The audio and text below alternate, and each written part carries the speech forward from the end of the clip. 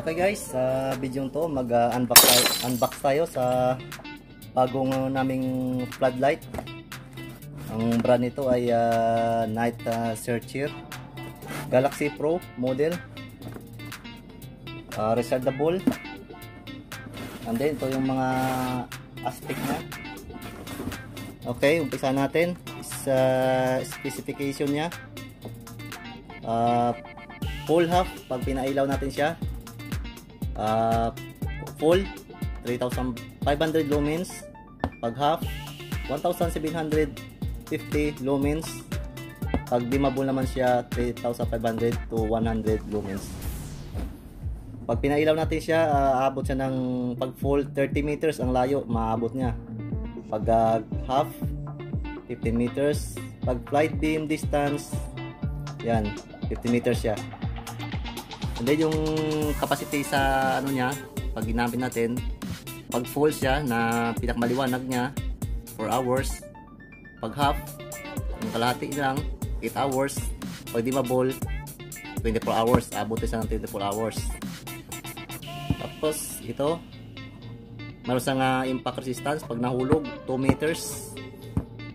Nalaglag ng 2 meters, okay pa siya. May impact resistant daw, 2 meters. And then uh, IP54 increase protection. Pag naulanan, yan. Ano po siya, yung uh, water resistant. Yan. Charge time, uh, 8 hours sa uh, rechargeable time niya.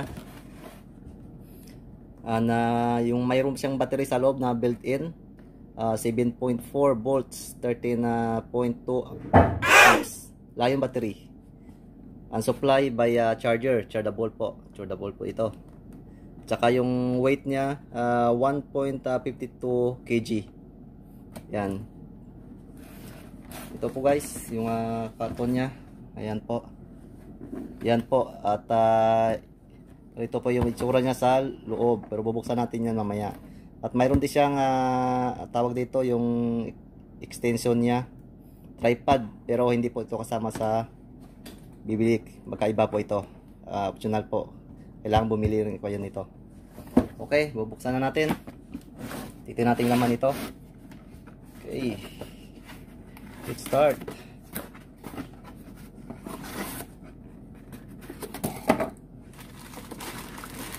Uy, bagong bago. Wala pang gas-gas. Okay. At ito po yung laman ng box sa uh, isang uh, nakikita niyo ba? Isang uh, floodlight. Ah, ganito po. Plastic. Mayroon po siyang uh, base uh, tripod base. Ganito po yung base nya pinili sa patong ganyan. Night uh, night searcher yung uh, brand po. And then uh, yung likod uh, mayroon siyang um, lagay dito ng ano uh, chargeran and then to yung power nya switch And then dito sa likod, mayroon isang holder. Kaya, pwede siyang bitbitin. Pwede rin yung ilagay. Yan. Kasi mayroon siyang base na tripod. And then, uh, yung likod, uh, mayroon siyang uh, kasamang charger sa loob, sa likod niya. Pag binuksan. Okay. Yan po. At, uh, kaso nga lang, ito po yung, ano niya, yung saksakan niya. Kailangan ng adapter ito po yung charger. Pasok nyo lang dito. Chargeran mayroon siyang ano dito na lagay ng chargeran okay. Ano ba yung uh, kasama sa karton nya natin.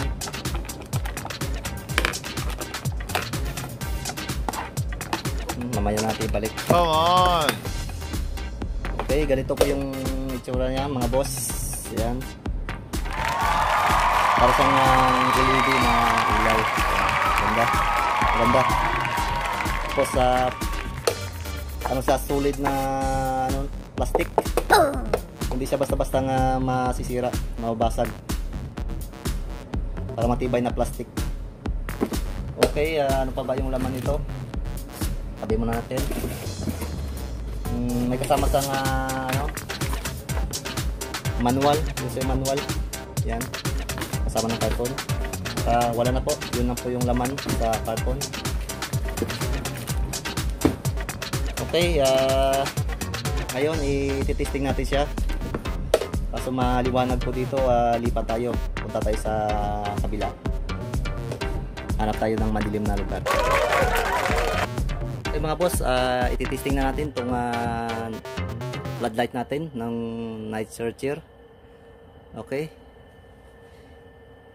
I-on po natin una. Subukan natin kung gaano kaliwanag.